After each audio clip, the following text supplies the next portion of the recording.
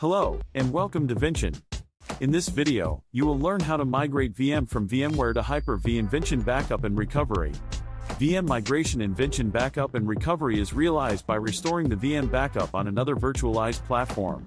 So a VMware VM backup is needed at first. Here I have created a VMware VM backup, and I'm going to restore it on a Hyper-V host. Go to Restore,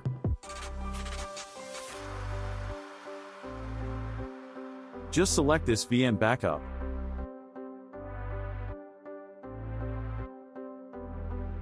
Here select the specific Hyper-V host.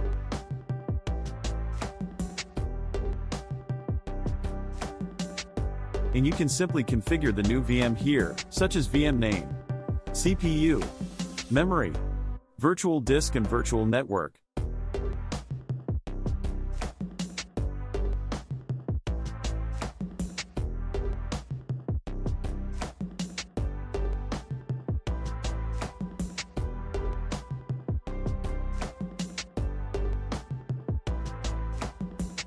Select Strategies or directly click Next.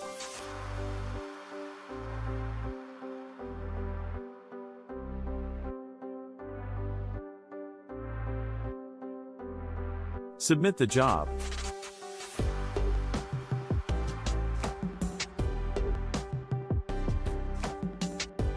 Now the restore job begins.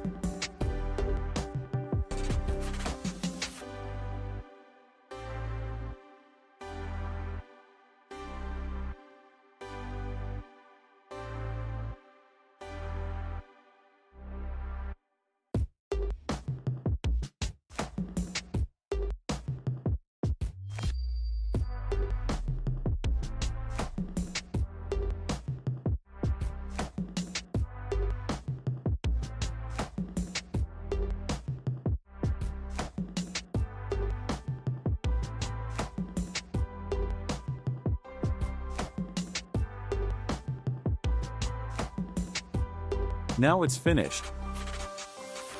Let's check the new VM in Hyper-V Manager. It has been restored to the Hyper-V host. And let's try to connect to the VM.